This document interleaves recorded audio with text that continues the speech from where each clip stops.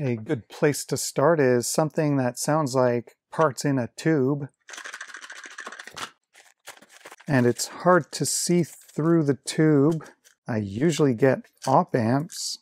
LT1054. Finally, under the right magnifier, I could see it with light. So, assuming the part is either genuine or a working clone, that would be a switched capacitor converter chip compatible with something like a Max 1044 or 7660, which I use to make negative supply rails out of positive rails. This is supposed to be a better performing version. So for example, with the Max 1044, the thing I liked about that one compared to the 7660, I was able to make sure the switching frequency of the converter was up somewhere above 20 kilohertz. But the thing I didn't like about Max 1044, the absolute maximum input voltage was 10.5, but this one can have 15 volts in. So if I'm working with plus 9, I have more headroom there. And also this can do 100 milliamps max current,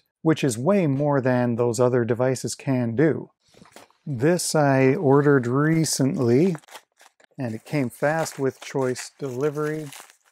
Max 9814 microphone amplifier with auto gain control.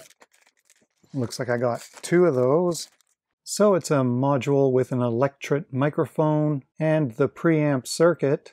And I got that because when I was working on this lo-fi sampler, I was using this other electret microphone amplifier module, but without auto gain.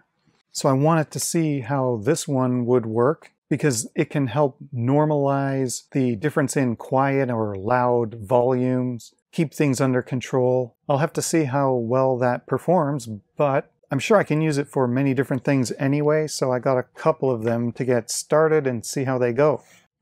And while I was ordering microphone and audio related stuff, I threw in an order for another MEMS microphone, which is an I squared S interface. I had bought several versions of these to experiment with years ago, you can use them easily with ESP32.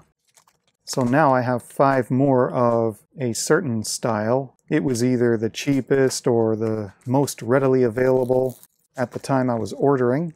And I recall these were relatively easy to get up and running and sounded reasonably good. So we have our module on the top of the board, an opening there for the microphone audio, power ground, and the I squared S data pins, word select, left or right channel, clock, and data. There's libraries out there easily allowing these to get up and running. So depending what I do, maybe if I'm doing some other lo-fi sampler, I can use a MEMS microphone as well. This has been in the mail queue for I don't even know how long. Many months this is called a fret rocker. It's got four different, hopefully true, straight, flat edges, and it's related to guitar fretwork, which I'll try to quickly illustrate. But first, something that I know has a true straight edge because I put a level against it. It's not going to be easy to show on camera, but I can see that's perfectly flat looking. I'm not seeing daylight through where these two surfaces meet. So for now, I'll assume that's good straight edges.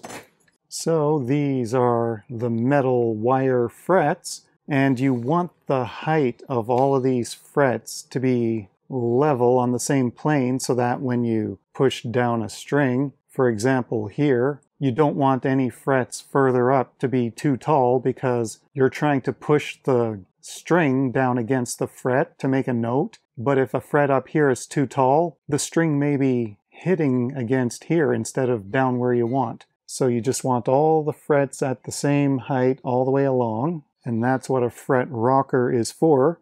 So you find whatever edge will fit across any three frets. As you go up the neck, the frets get closer together, so you need to switch to a different edge. So if you're checking if this fret is too high, you want to put this edge across the fret before and after the one you're looking at. So this edge will fit across three. So you just put it there and rock it and see if you can hear any tapping noise, meaning one of the frets is either too high or too low. So you go along and see if everything is solid and if anything is too tall, you need a fret file to take the tall ones shorter, polish them and so on and keep going until they're all level.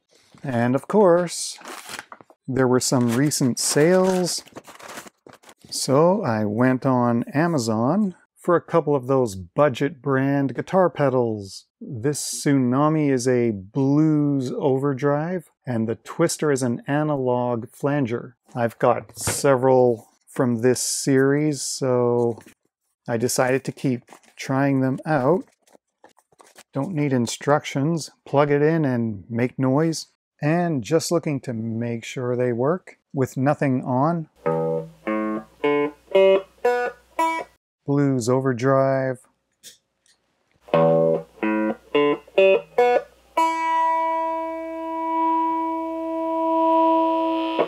Turning up the gain.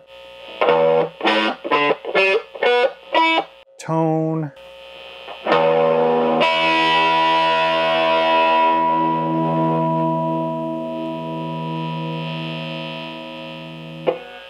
seems to control the tone, volume.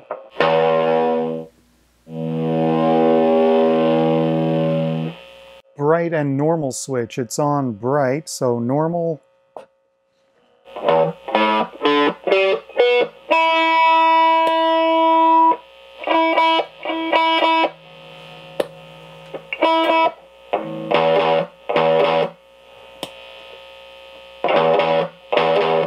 Probably can't tell much on a small speaker, but it's working. Now this flanger, I have a feeling this might be the same circuit as another one I've already got because we have the same color control here and a toggle switch currently set for freeze. It can also be on normal, so I don't know what freeze is. Let's see.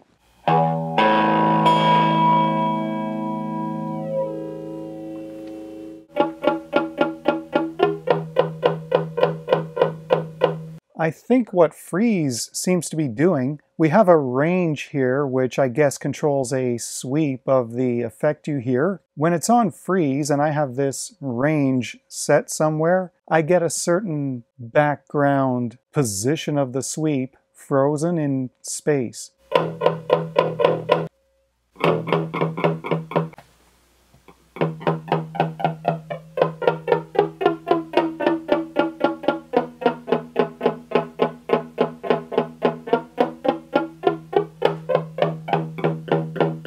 So if I put it on normal,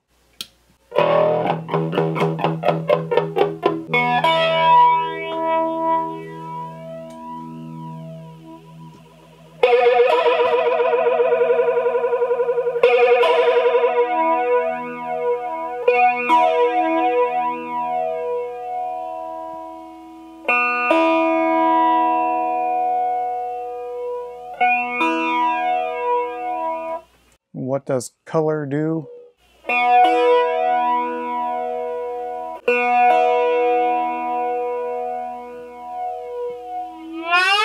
It adds color. It's either some kind of depth or intensity. So maybe it's a feedback control which controls how intense it gets.